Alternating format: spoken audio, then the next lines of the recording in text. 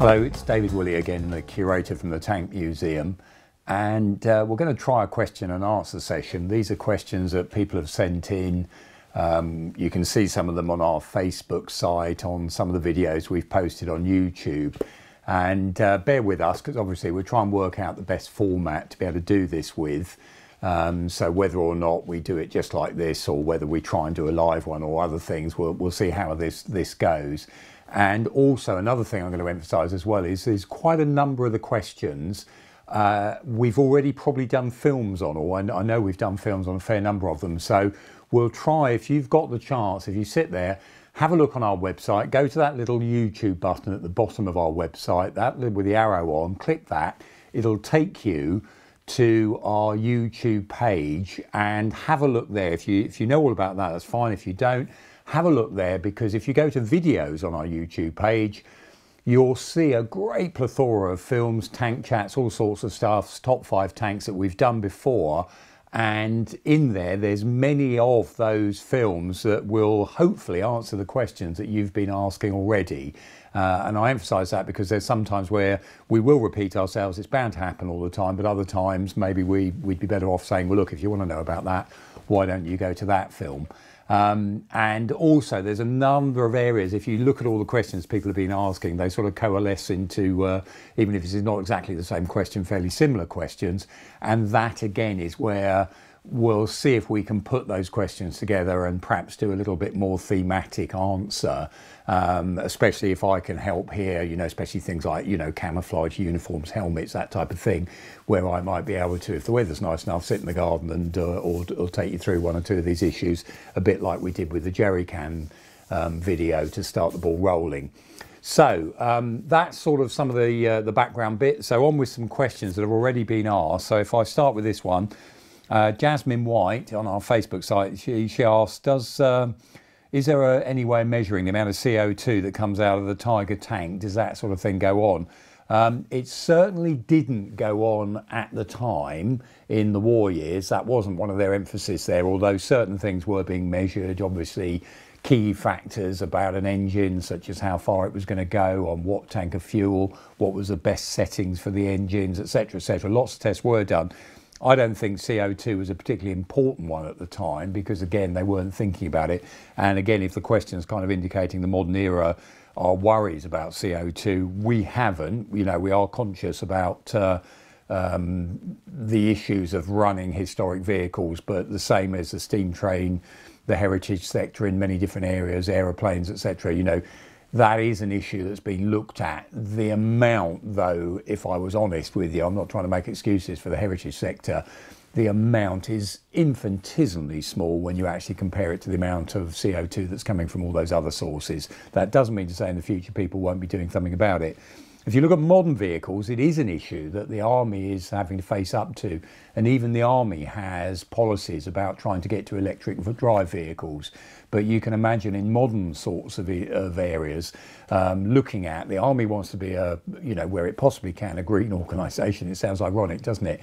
Uh, at the same time, when you're talking about things like national security, defence, etc., you don't want to find you're doing it in a manner that if push came to shove, you don't want to be the people with your one arm tied behind your back because we decided to go all green and therefore your uh, vehicles or your capabilities are way behind those of an enemy who might want to take advantage of you. So that's an issue that the army is facing up to. It's a very conscious, uh, you know, contemporary issue, obviously, and uh, something that us in the museum sector as well uh, is a drive for us all to become an awful lot greener, an awful lot. Can we recycle more? Can we do things with uh, as the whole world should, obviously, as a, as a part of its agenda. Um, but modern vehicles, I mean, there's other issues as well, which, you know, you just have to be honest and say an awful lot of military um, vehicles, the way they're used, etc., they also get exemptions. So for the Challenger 2, the decibel level is way higher than what would be, ever be allowed for a civilian car. Um, that's coming out the back of that. So um, it's another one of those sort of, you know, it's one of those exemptions literally because they think that this is worth doing. Nobody wants it, but they think it's worth doing from the point of view of actually that's a vehicle that may save your life, save your liberty at some particular point. So we'll make an excuse for it. Um, right, next question from um, Louise uh, Banks. Um, sorry, Louis Banks. I do apologise, Louis. Louis Banks, age nine, asks, "What's your favourite tank?" His tank is a Tiger Two. This is a tricky one, Louis, because I've been asked this before, and if I'm honest, I don't really think I've got a favourite. There's some, if I'm honest, Louis, it's it's not so much the favourite tank; it's a story that goes with that vehicle, and um, because of that, it's one of those ones where I'll have a go at maybe in this time I get round to doing my top five tanks, but I think it's going to be about the story that goes with the vehicle not so much. I think that's my favourite there. There are tanks where you walk around the corner at the tank museum, you go past on a regular basis, etc. Um, and there's tanks. Uh, boy, it's a tank museum are we lucky to have. You know, no one else has got something like Little Willie, the first tank, really, the first tank ever. So there's tanks that you can't help but have a fondness, a respect, a, a sort of real interest in that way. But if you're trying to sort of line them up, you know, which one would I just want if I was allowed one in the back garden?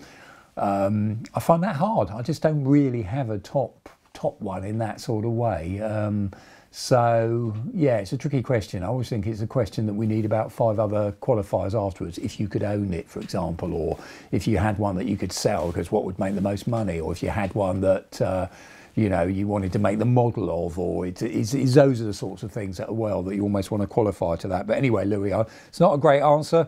Um, and by the way, your Tiger Two, it's one of those ones where we've actually made a film about the Tiger Two, which if you go to YouTube, have a look on that. So there's one of those tank chats on the Tiger Two there, as well as the other Tiger family we did some time ago. But you might like to have a look at that if, if your favourite's a Tiger Two. Um, Kurt Nolan, is it? Um, he's asked the question who owns the tanks at the Tank Museum?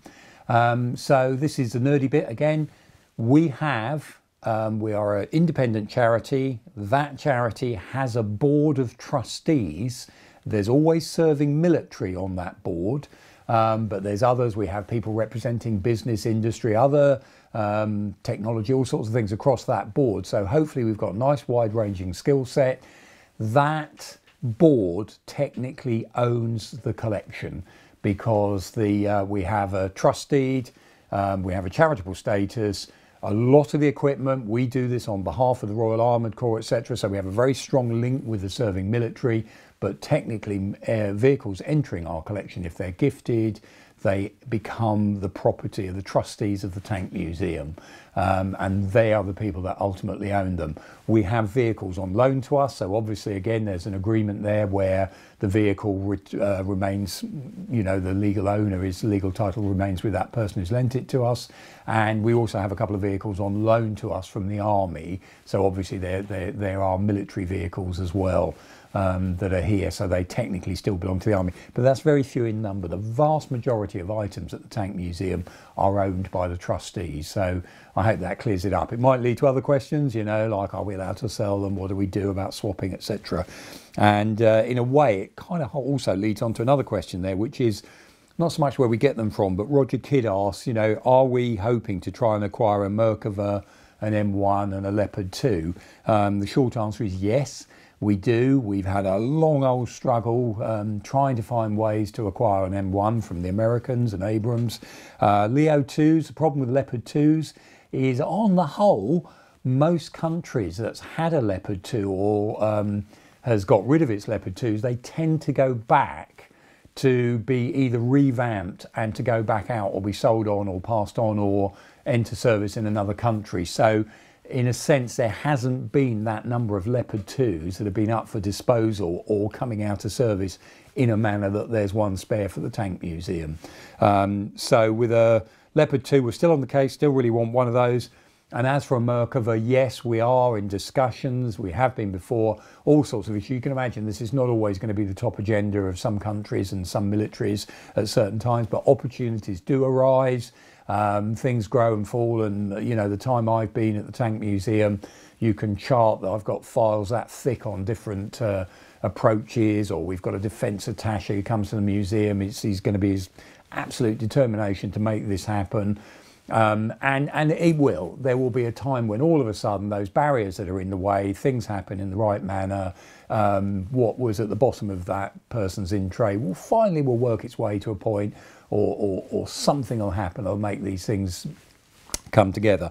And uh, at the moment, we are talking at the moment with the Israelis about getting a Merkava in the collection um, because that will be another. There are three tanks you mentioned there, all tanks we would love to see represented um, because they're important, as you can imagine, for very different reasons, but uh, really important for us to try and get hold of. And uh, that touches on another question other people ask. We do have a wants list. Um, we, we run that by, it's not just what me or David Fletcher or one person at the Tank Museum thinks they want. We have a wants list for what we consider really significant vehicles that ought to be in the collection, and uh, we try and justify that. It's always very hard trying to sort of, you know, level playing field. How do you put one tank against another? This one's more important or whatever. It's, it's never that simple to be able to do. But we also have a wants list of vehicles that we want so that we can run them on a regular basis because we know running those vehicles too often um, and we do run, don't forget, most summers we're running pretty much every day something or other, a few vehicles in the arena as part of our Tanks in Action display. What are the vehicles we can acquire a number of and looking to the future sustain? And that's a big issue, which obviously we're facing. Um, not that long ago, we were running whatever we could try and get out and run. I say whatever, actually, you know, obviously there was a bit of judgment going on there, but the key aim was to get things going into that arena, helping us put us on the map, getting an audience base coming in. If we're looking to the future, there's a number of those vehicles we can't run in the same way as we did before. Spare parts aren't available. We want to try and keep originality where we can.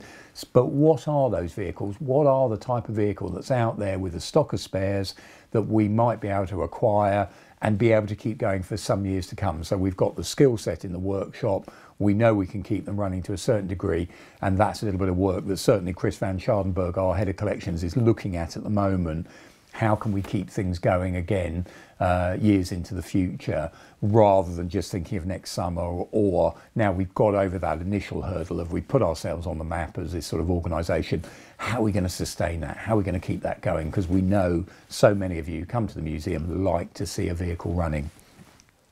Um, Rosie Smith has asked on behalf of Eddie, who's aged 10, um, about the King Tiger. Well, Eddie, I'd kind of almost jumped the gun a bit have a look at that chat on YouTube. If you like King Tigers Eddie, have a look at the chat we did on YouTube and also look on our workshop diary because there's there's bits there as well. We were moving the King Tiger into its new position for our new World War II displays. When they open, You'll be able to come and have a look at those.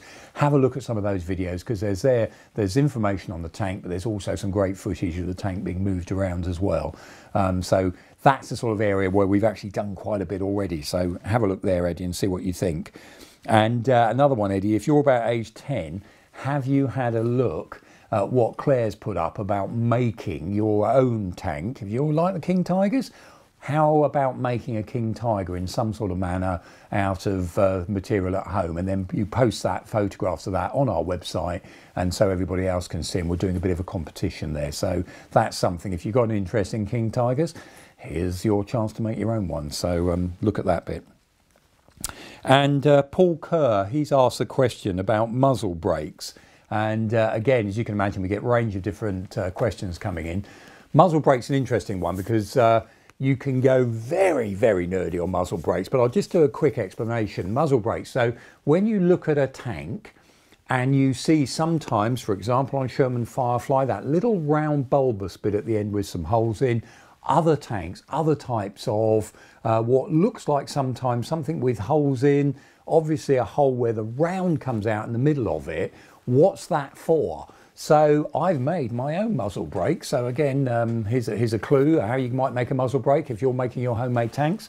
If only I could find it. Where did I put it? Let me find the muzzle brake. Here it is. So here's my homemade muzzle brake. So it's a paper towel, um, in a tube, as it were, cardboard uh, and a toilet roll um, tube, a rare thing, the toilet roll tube, of course. So I actually actually have that one out of the bin. Um, but the idea, if so, if you can imagine, this is the barrel of the gun, this part here, and there's a tank turret at the end of it. It fires the round up the barrel and it comes out the end. And this is a bit on the end here we are calling the muzzle brake. And the idea is what you're really trying to do when a gun fires, huge amounts of explosion in that gases expand, and that's what forces when that gun fires, that's what forces around up the barrel and out the end. And the welly behind all that gas pushes that round downrange to wherever the target is. Now, that gas going that way, and again, I won't go into too much all the scientific laws, but basically, when there's that reaction, um, you've got a reaction of the force going backwards and what we'd normally call a recoil. So when you see guns fires, then they recoil.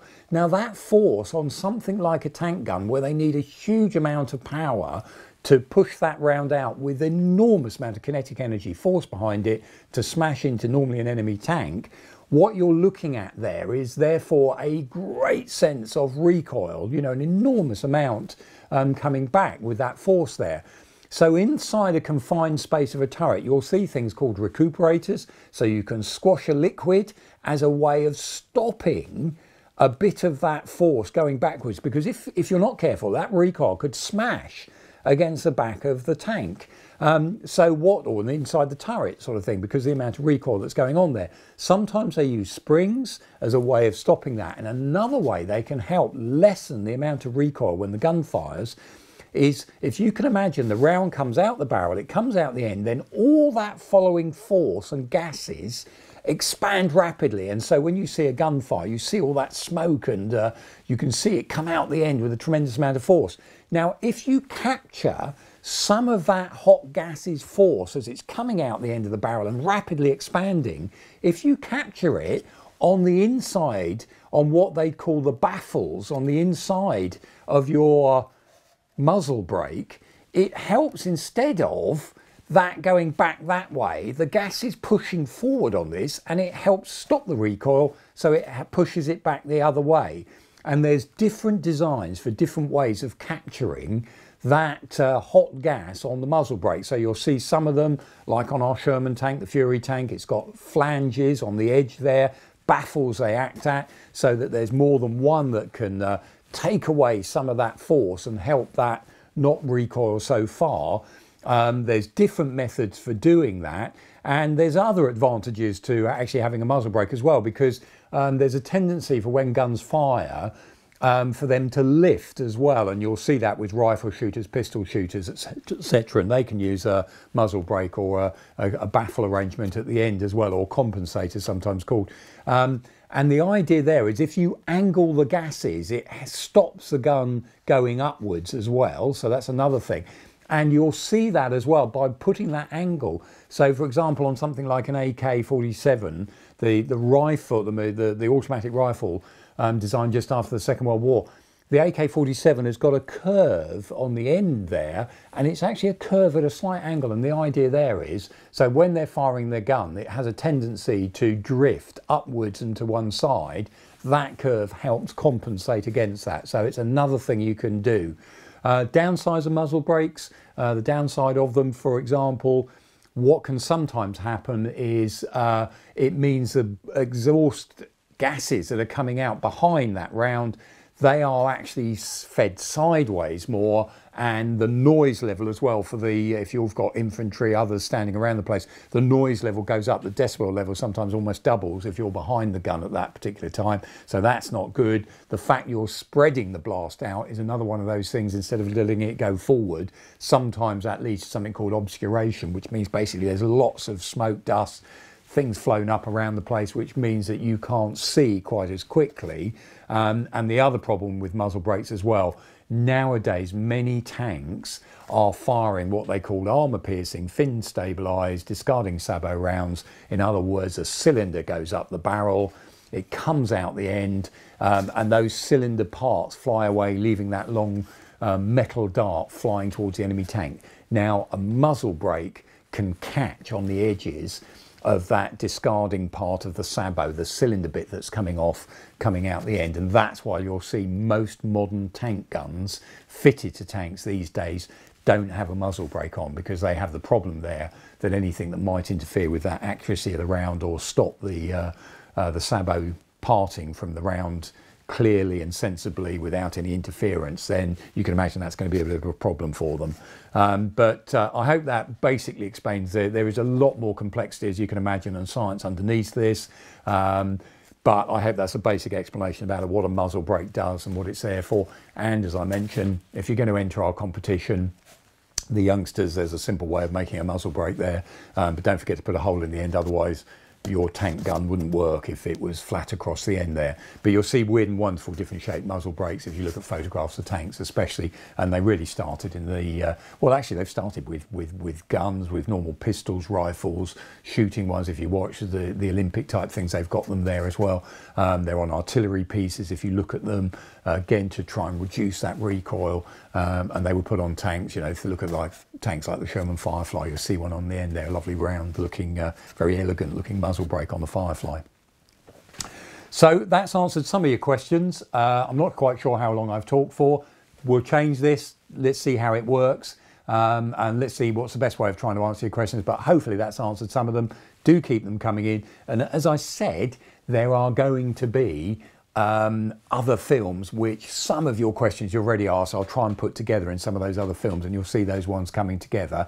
Um, but here, hopefully, a bit of an effort to answer some of them there. And again, I would argue, he says, taking a slurp from uh, his I Love Tanks mug that you can get from the uh, Tank Museum shop. Don't forget to keep us supporting us by uh, perhaps ordering something off uh, online from the shop there. If you're a model maker, brilliant. Well done, all of you who've responded by posting those pictures of your models on our Facebook site. Keep doing that. And isn't it great as well, seeing you all cooperating, talking to each other, explaining things you've done, and give that advice. It's a great time at the moment for talking to each other, being a bit kinder than usual. Um, watch your comments. Let's make sure we're all being sensible about what we're up to and doing, and uh, and pass on. You know, look at the skills that you model makers have shown already pass those skills around, pass them on, and thank you so much for that effort you've put in. With uh, you look, if you haven't found it yet, go on Facebook, look at the pictures of all those models. People out there are doing it, and also thank you so much. I'm really pleased to be able to tell you that we've had a, a glut of orders in the shop. Bear with us if it takes a little bit longer for us to sort them. You can imagine at this particular time it's not that easy, but um, keep those orders coming in because when you're doing that, you're helping to support the charity, the collection I mentioned earlier, and uh, that helps us, as I keep saying, keep going. So keep at it, keep safe, um, keep watching, and we'll hopefully answer more of your questions soon. Thanks very much. We are a charity here at the Tank Museum, so if you can support us, please do. Consider joining our Patreon scheme or becoming a member of the Friends any donations will go directly towards the Tank Museum and its activities.